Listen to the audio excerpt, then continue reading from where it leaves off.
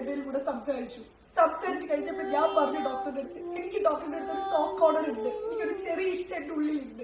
പക്ഷേ അത് പ്രേമാണോ? എനിക്കറിയില്ല. എനിക്ക് കുറച്ചും കൂടെ സമയം വേണം. എനിക്ക് മനസ്സിലാക്കാൻ കുറച്ചും കൂടെ സമയം വേണം. ചിലപ്പോ ആ ഇഷ്ടം വളർന്ന് വളർന്ന് ചിലപ്പോ കല്യാണത്തിലോട്ട് പോവാം. എനിക്ക് എനിക്ക് അപ്പം ഞാൻ ഡോക്ടറെ അടുത്ത് ഒന്നേ പറഞ്ഞിട്ടുള്ളൂ. എനിക്ക് കുറച്ച് സമയം എന്താ പക്ഷെ ഡോക്ടറിന്റെ വീട്ടിൽ ഡോക്ടറിന്റെ വീട്ടിൽ അതിന്റേതായ പ്രഷർ ഉണ്ട് ഡോക്ടർ എന്നെ പെട്ടെന്ന് കല്യാണം കഴിക്കണം. എനിക്ക് എടുത്ത് ചാടി എനിക്ക് ഒരാളെ കല്യാണം കഴിക്കാൻ വേണ്ടി എനിക്ക് പറ്റില്ല. എനിക്ക് എന്റെ കുടുംബത്തിൽ എന്റേതായ പ്രശ്നങ്ങളുണ്ട് എനിക്ക് എന്റെ അച്ഛനും അമ്മയും സെറ്റിൽ ആവണം. അല്ലാതെ എന്റെ ഇഷ്ടവും എന്റെ സുഖവും നോക്കിയിട്ട് എന്റെ അച്ഛനും അമ്മയും ഫാമിലിനെ ഒഴിവാക്കിയിട്ട് എനിക്ക് ഒരാളെ കല്യാണം കഴിച്ചിട്ട് എനിക്ക് പോകാൻ വേണ്ടി പറ്റില്ല.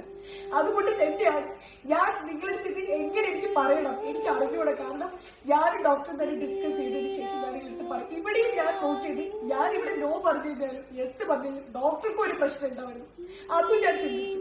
ഞാൻ കാരണമല്ല ഞാൻ എന്തെങ്കിലും പറഞ്ഞിട്ട് ഇവർക്കൊരു പ്രശ്നം ഉണ്ടാവരുത് മാത്രം ഞാൻ ചിന്തിച്ചു.